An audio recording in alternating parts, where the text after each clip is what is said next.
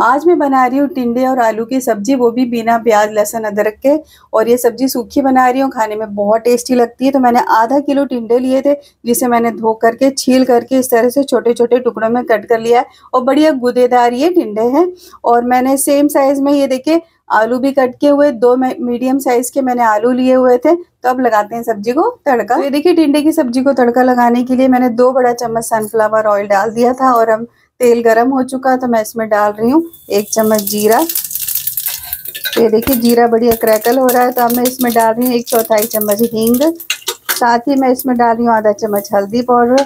साथ ही मैं इसमें डाल रही हूँ एक चौथाई चम्मच मिर्च पाउडर। मिर्च आप अपने स्वाद के अनुसार डाल सकते हो और अब मैं इसमें डाल रही हूँ दो चम्मच धनिया पाउडर।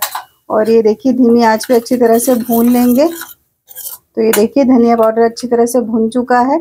तो अब मैं इसमें डाल दूँगी कटा हुआ टिंडा और आलू। और मिक्स करेंगे अच्छी तरह से।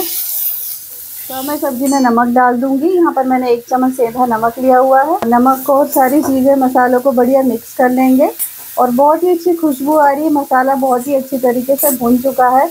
और ये बहुत ही टेस्टी सब्ज़ी लगती है। ऐसा नहीं कि इसमें लहसन नहीं है, प्याज नहीं है, अदरक नहीं है। और मैं इसमें टमाटर भी नहीं डाल रही और सूखी सब्ज़ी बना रही हूँ, धीमी आँच पे भूनते हुए हम सब्ज़ी को पकाएँगे।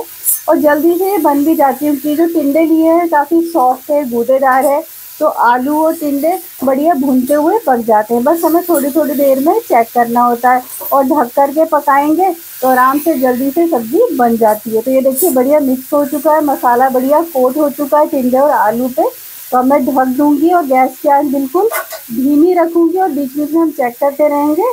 तो ये देखिए, चार से पाँच मिनट हो चुके हैं टिंडे आलू की सब्ज़ी को बनते हुए। और ये देखिए, हम ढक कर के पका रहे हैं। तो हमने टमाटर भी नहीं डाला था। ये देखिए, सब्ज़ी का अपना ही पानी इसमें छूटा हुआ है। तो इसी पानी में सब्ज़ी आराम से पक जाती है। आलू और टिंडे बढ़िया पक जाएँगे। बस हमें थोड़ी थोड़ी देर में इस तरह से मिक्स करते रहना होगा और ढक कर के पकाते रहना होगा। तो ये देखिए, अच्छी तरह से मिक्स कर दिया है मैंने। और फिर से हम ढक देंगे और गैस की आँच बिल्कुल धीमी रखेंगे। दो से तीन मिनट बाद फिर से चेक कर लेंगे। लगभग आठ से दस मिनट हो चुके हैं और हमारी ये टिंडे और आलू की सूखी सब्ज़ी बन चुकी है।